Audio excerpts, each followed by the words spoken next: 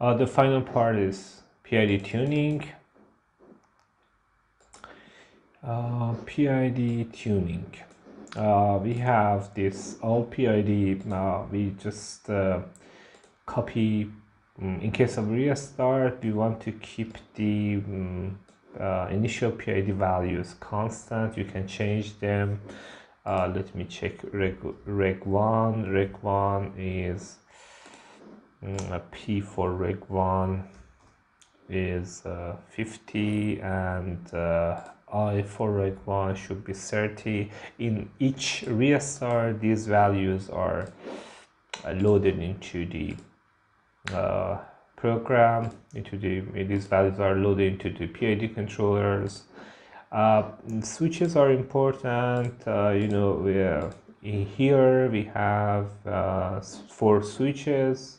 We want to make sure that even they are um, enabled and disabled. This part of uh, PID controller is disabled, and uh, we use this if regulator is uh, if reg 1 is man and the output of the mm, PID is uh, 0 uh, the switch is true otherwise it's false only for uh, reg 2 we enable the PID we make it in manual and output is 0 only for PID2 is uh, this uh, value is true for PID2 you can see that this variable is true and we mm, uh, disabled. We disabled uh, this part and if uh, mm, uh if I change the uh, this PID into automatic mode uh, I don't want to do that now.